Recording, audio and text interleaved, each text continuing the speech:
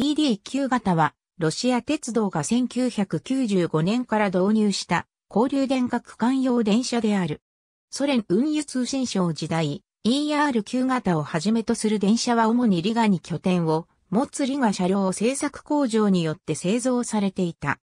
だが、ソビエト連邦の崩壊に伴い、ラトビアが独立した結果リガ車両製作工場は、ロシア連邦にとって海外の鉄道車両メーカーになってしまい、ロシア国内における電車製造の拠点が求められた。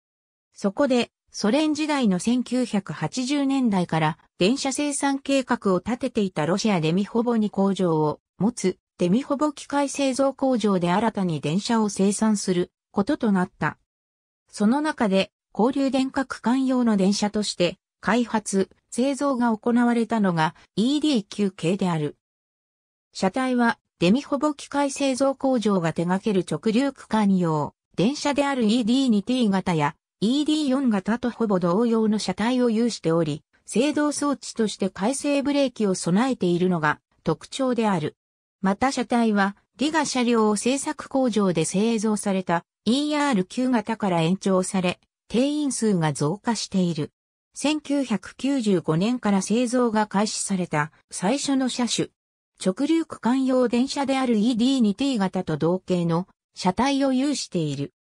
また多くの電気機器や機器配置は ER9T 型と同等であったが、主電動機を出力が向上した 1DT-3.11 型に変更したほか、改正ブレーキの改正執行時や故障時に対応するための対策が施されている。営業運転は1995年12月から始まり、1999年まで製造が行われた。なお、1999年には、電気機関車とプッシュプル運転を行うために付随車30両が製造され、2010年代初頭までニジニのブゴロド地域で使用されていた。2000年から2012年まで製造された形式、ED9T 型の実績をもとに多数の改良が加えられた。前面が人間工学をもとに設計された新たなデザインに変更され、運転室には連結している車両の故障や火災などの異常を感知する警報システムからの情報を表示するディスプレイが設置された。また、車内のレイアウトが改良され重量編成時の定員数が ED9T 型から17%増加し、乗降扉も大型化した。主電動機についても出力の増加が図られた結果、設計最高速度が時速 130km に向上したことに加え、それまで弾数量のみ、蘇生可能だった ED9T 型に比べ編成の柔軟性が増し、付随車を連結した奇数量の編成も可能となった。なお、1999年に製造され、ロシア鉄道とシベリア鉄道支社やカザフスタン鉄道に導入された ED9MK 型は高速バスに対抗するため優等座席車が設定されており、普通車に加え、ファーストクラス、セカンドクラスの車両が連結されている。またアエロエクスプレス向けの編成は後述する ED、9E 型と同様の先頭デザインに改められ、冷房装置が搭載されたほか、車内も空港利用客に適したレイアウトとなっていた。2006年に試作車が製造され、2010年から営業運転、量産が開始された形式。ED9M 型と比べて、消費電力や維持費の削減など省エネが重視された設計となっており、整流機がマイクロプロセッサ制御やインバータを取り入れ、消費電力を削減した VIP-1000 に変更されたほか、主電動機も同様の省エネ設計に改められている。これらの機器の導入により、ED9M 型と比較して消費電力が20%以上削減されている。また接客設備にも改良が加えられ、屋根上に冷房装置が設置されている。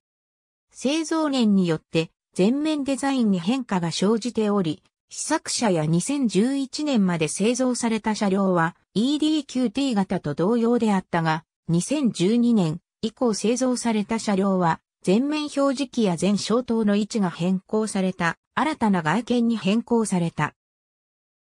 さらに2014年にも直流区間用の ED4M 型500番台と同型の流線形の全面デザインへの変更が行われ、2016年まで製造が行われた。なお、ED4M 型500番台と異なり、車体側面下部にはビード加工が施されていた。以降の交流電車の増備は安全性や編成の柔軟性を増した新設計の EP3D 型によって行われている。ED9 系の最短編成である4両編成では、過剰設備となるローカル線向けに電動車の先頭車化改造を行い2両編成が組めるようにした車両。クラスのヤルスク電気車両修理工場によって ED9M 型の改造が行われ、2014年に発表された。ロシア鉄道が所有する ED9 系の一部車両については、交流区間で用いる視察用車両などの事業用車への改造が行われている。2000年からロシア鉄道極東鉄道支社の管轄路線で使用されたプッシュプル列車。